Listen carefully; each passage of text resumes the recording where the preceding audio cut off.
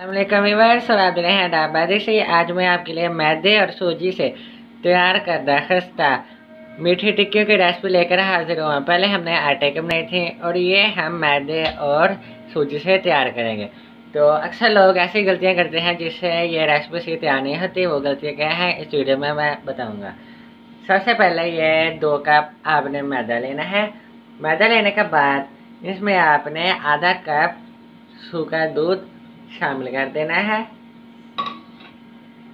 ये शामिल करने के बाद आपने एक कप सूजी का लेना है। इसको इसमें शामिल कर देना है। इसी तरह अगर आप हमारे चैनल पर नए हैं तो ज़रूर सब्सक्राइब करके बेल आइकन प्रेस कर दें। इसके बाद हम इसमें ये खोपरा शामिल कर देंगे। खोपरा शामिल करने के बाद इसमें ये मैंने चीनी को पीस लिया है। अब ये एक कप इसमें पीसी हुई चीनी शामिल कीजिएगा। ये अच्छी तरह से मिक्स हो जाती है। इसके बाद आपने करना क्या है, दो चम्मच देसी घी के इसमें शामिल कर देने हैं।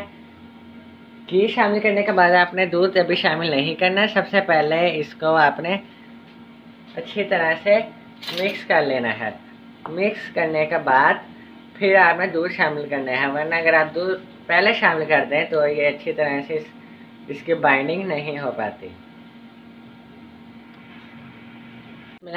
हिम अब इसके बाद आपने करना क्या है, एक इसमें दूध का शामिल कर देना है, इसके बाद हम इसकी डो तैयार कर लेंगे। हिम ये डो तैयार हो चुकी है, अब हम इसको छोटे छोटे टुकड़ों में काट कर इसके गोल रोटियाँ बना लेंगे।